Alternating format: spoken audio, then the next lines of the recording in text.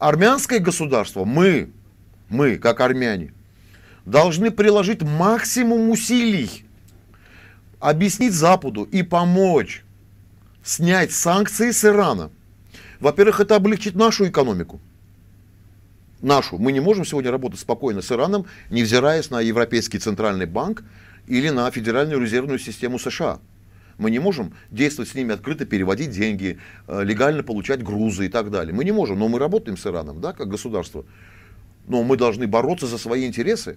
Мы должны, как армянское государство, приложить максимум усилий, э, сделать все, чтобы Иран этого не делал. Запад же на поводу еврейского лобби, который втягивает Украину, э, Запад, Европу, втягивает туда, в противостоянии в Украине. И самое непонятное, Украина своими руками, ее политическое руководство, идя на поводу у еврейского лобби, делает все, чтобы Иран еще в три раза больше поставлял туда оружие и убивал его солдат.